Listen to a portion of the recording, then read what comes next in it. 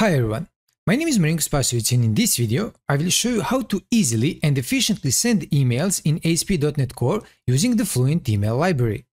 Fluent Email is a popular open source library for sending emails from .NET applications.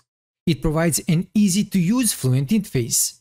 That means we can easily create an email message, add recipients, set the subject, etc. by chaining methods. Furthermore, we can define email templates using popular markup syntaxes like Razor or Liquid templates and reuse them.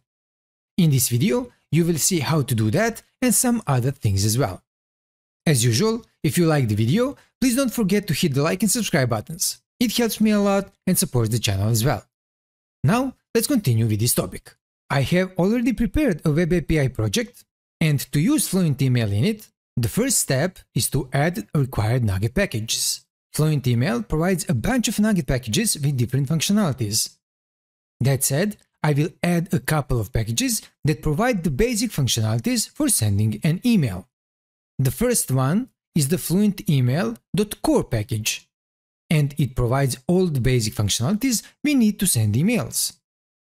Also, I will use the Fluent Email.smtp package to send emails using an SMTP server. Okay, after the installation, the next step is configuring the Fluent email services. Now, before I continue, I would like to let you know about our products. Currently, we have the Ultimate ASP.NET Core Web API book and the Blazor WebAssembly course you can use to create client C-sharp apps without using JavaScript. Of course, we are working on new ones, so always check the links in the description below. Okay, let's continue and I will create a new class first, named Fluent Email Extensions. This class must be static because I will create a new extension method here. So let's add that method, name it add fluent email, extend the iService collection interface with the parameter name services, and add one more parameter of the configuration manager type named configuration.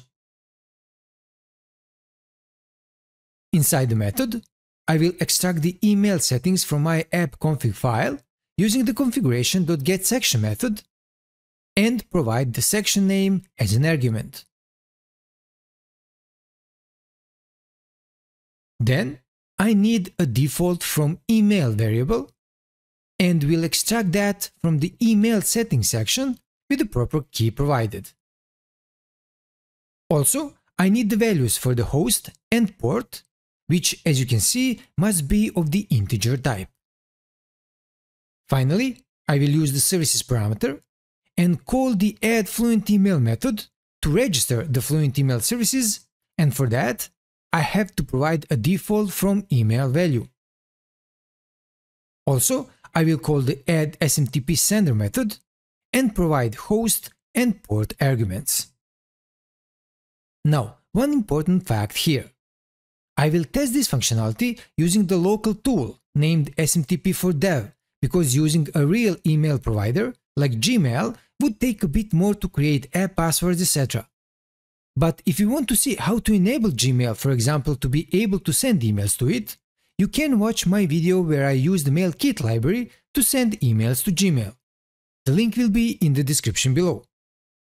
This means if you want to use this implementation to send emails to Gmail, all you have to do is provide two more arguments for the add SMTP sender method, the username and the app password.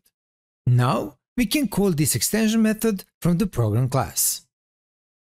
So let's use builder.services property and call the add fluent email method, the one I just created, and provide a required configuration argument.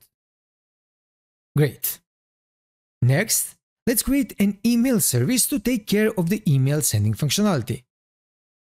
First, I will create a new interface named iEmail service.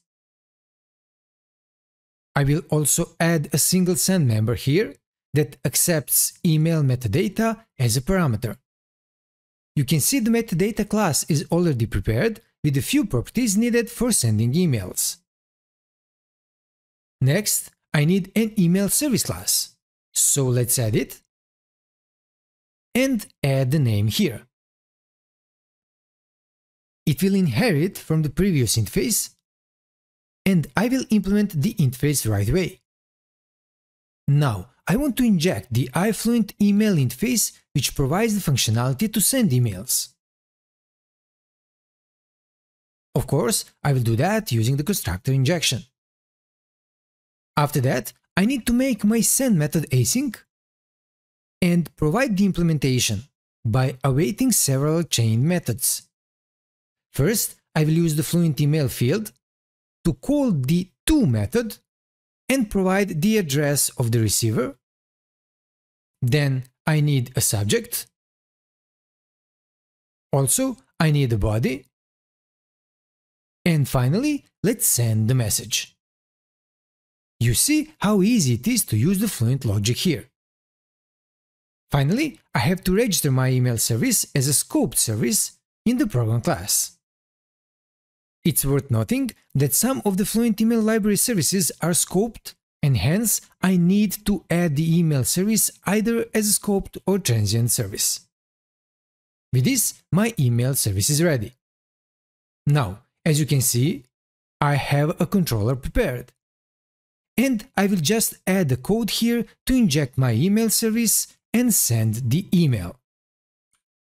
You see inside the get action, I am preparing my metadata and using the email service to send the email. That's all it takes. Now, let's set up the SMTP for Dev tool to test the sending email functionality. First, I will install the tool globally. And after the installation, I only have to run the server using a single command. You can see the tool is listening on localhost 5000 port 25.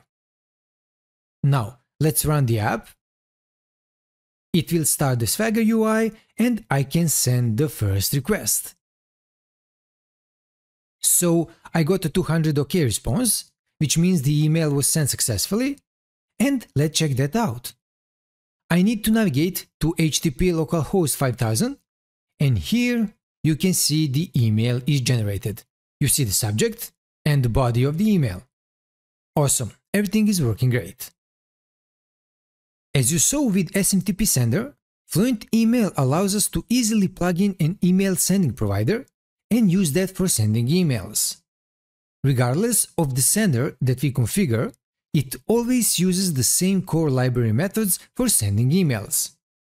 A few email senders that are available as official libraries are SMTP Sender, which I already used, Mailgun Sender, SendGrid Sender, Mailtrap Sender, and MailKit Sender. For all of those, we just need to install the required NuGet packages. Apart from these, there are plenty of open source email senders available which are compatible with Fluent Email. Okay, let's continue our work here and implement some templates for our emails.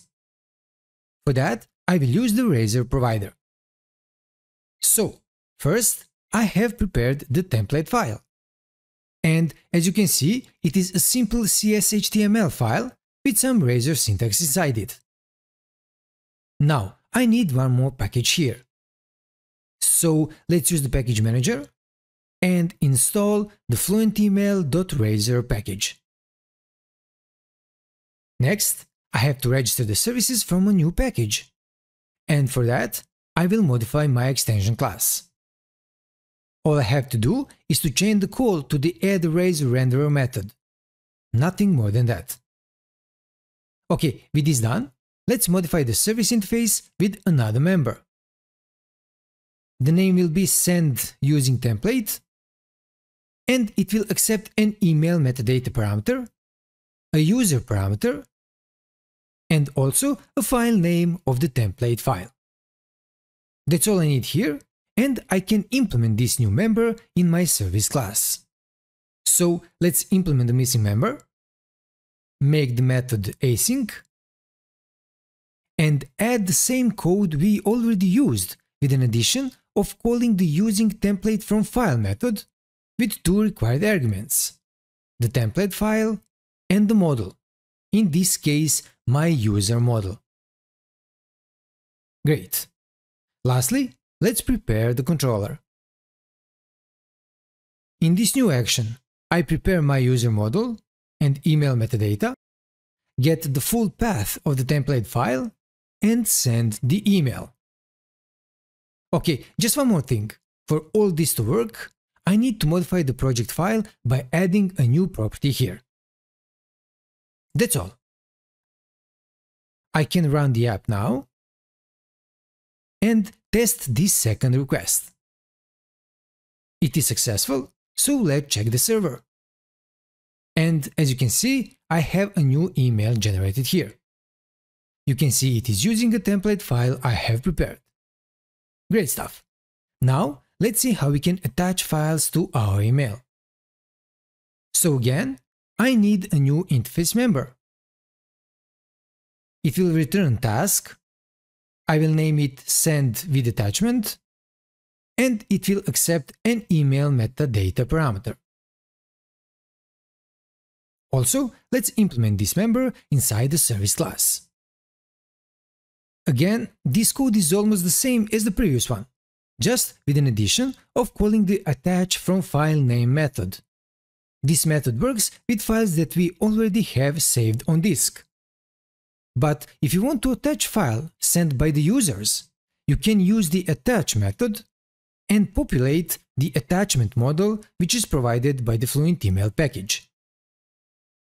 You have to extract the files from the request body, slightly modify the email metadata model, and create a service method to extract the stream and populate the attachment model. Of course, there are multiple ways for you to do that, but if you need help with that, you can always check the source code. The implementation will be there. Finally, I have to modify the controller. As usual, I prepare the metadata object and use it with a newly created method to send an email with the attachment. Okay, let's test this. Let's send the third request and after it is completed, let's check the server. You can see a new email and also an attached file. Great, this works as well. Finally, I will show you how to send multiple emails with a single request. To do that, let's again modify the interface first. This time, I use the list of email metadata as a parameter. Next, in the services class, I have to inject a new email factory service.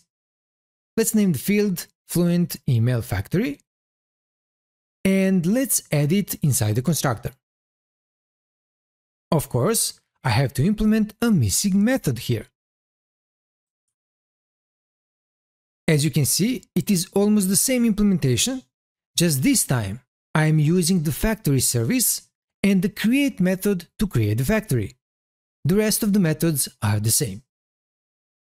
Finally, I need a new action in the controller. So I have a list of users and for each user, I create metadata objects and store them inside the email's metadata collection. After that, I simply use the method I just created to send multiple emails. As usual, let's run the app now, send a new request, and check the server. And there you go, you can see two new emails. Great stuff. As you saw, it's pretty easy to use Fluent Email to send emails from an ASP.NET Core Web API application. Additionally, I've shown you the different email senders and template renderers that it supports. Finally, we looked at adding attachments to emails and sending multiple emails as well.